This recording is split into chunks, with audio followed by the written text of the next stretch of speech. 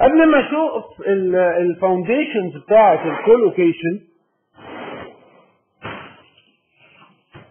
let's review one of the special functions كلمة special functions دي probably للناس اللي بياخدوا PDEs كلمة مزعجة شوية مش كده؟ بس والله it's a special function like it's kind of simple we always use it and we've used it for so long يعني. اللي ما يسمى بالديراك دلتا function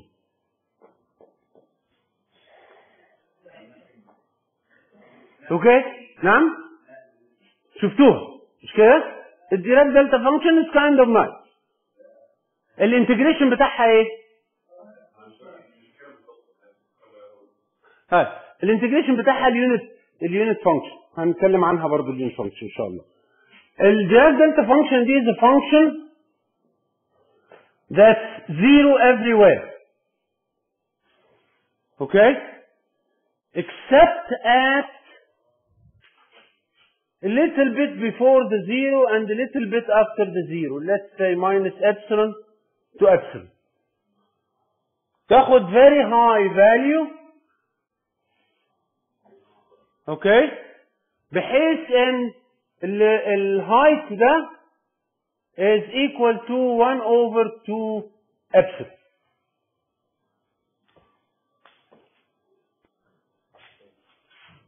okay What are the epsilons are small numbers so 1 over the epsilon is a big number limit as epsilon tends to 0 هيرفع لك ده almost infinity مش كده خلاص بس لو تلاحظ ان ال size of this rectangle is equal to 1 دي الحاجة الثابتة ان ال area of the rectangle should equal be should always be equal to 1 ده الديفينيشن بتاع الديراك دلتا فانكشن اوكي فاكشولي to complete ال algebraic definition بنقول this is equal to 1 over 2 epsilon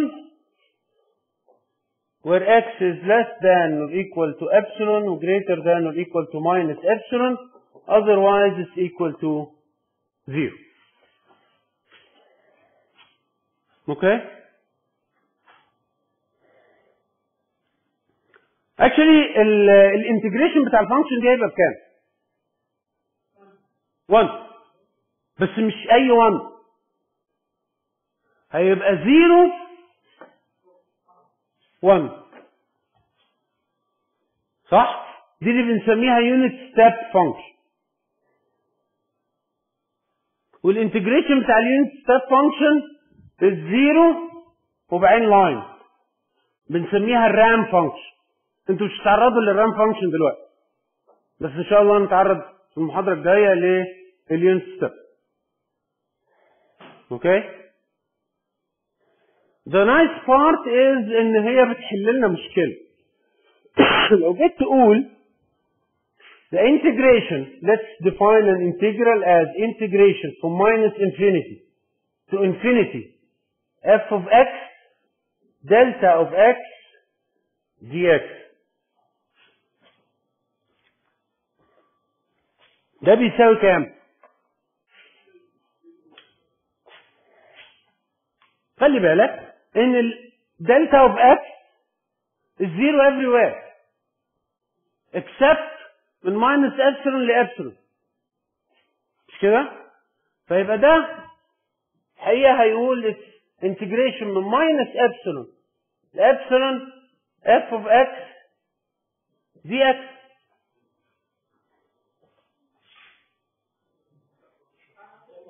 في سوري في واحد على اتنين ابسلون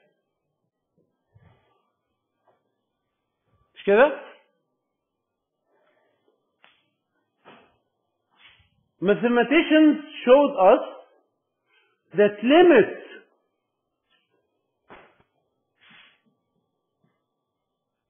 as epsilon tends to zero of i is equal to f of zero.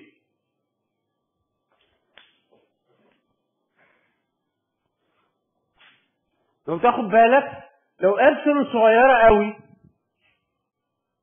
okay لو ابسلون صغيرة قوي يبقى ال function يبقى basically f of x مش هتتغير صح؟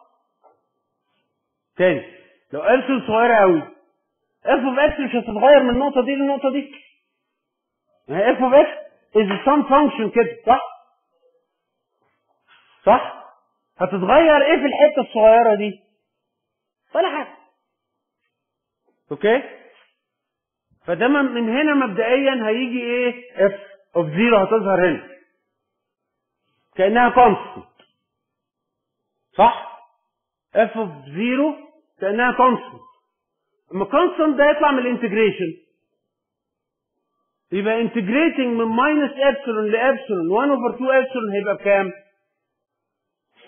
الاريا under the graph which is 1 by definition it's 1 صح؟ 1 times f of 0 is f of 0 آه من الاخر يبقى what did the integration multiplied by the Dirac function generate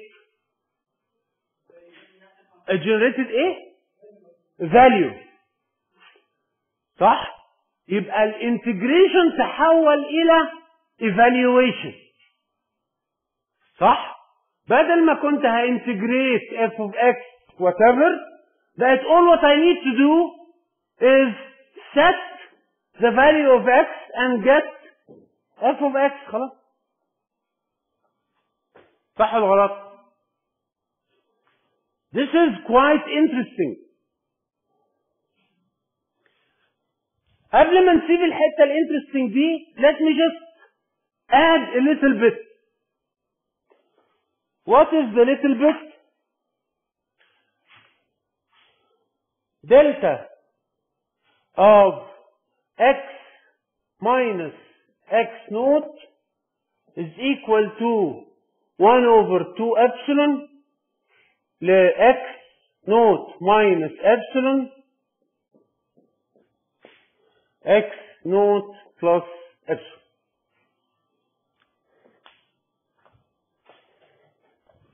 else زيرو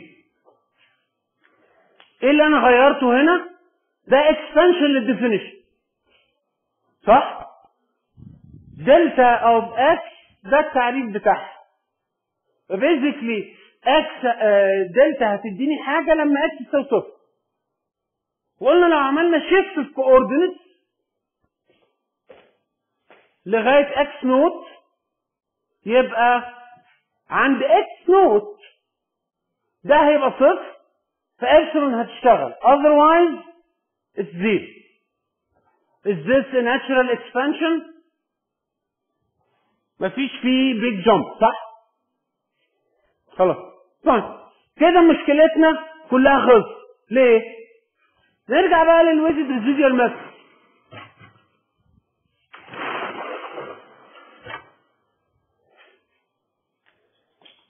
شيل دي.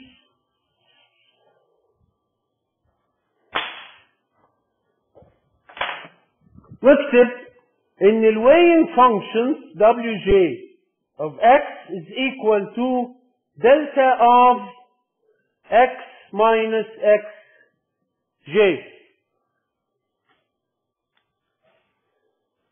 يبقى you select the weighing functions as deltas احنا لسه ابتدينا محاضرتنا في argument ارجو ان احنا نكون عملنا لها settlement and you can choose any function you want okay so my choice in this case is the Dirac delta function in this form عوض لي بقى وحل الانتجريشن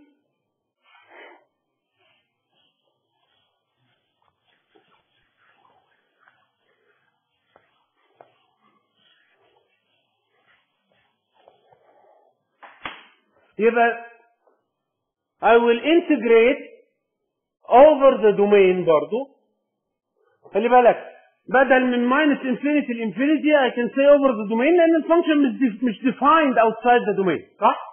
It's still minus infinity ل infinity بس restricted بان الباقي مش موجود okay r of x times delta of x minus x j dx. And this will generate what? R of x j R of x j equals 0. The same solution. I just added a single step in the middle. This is where the collocation came from.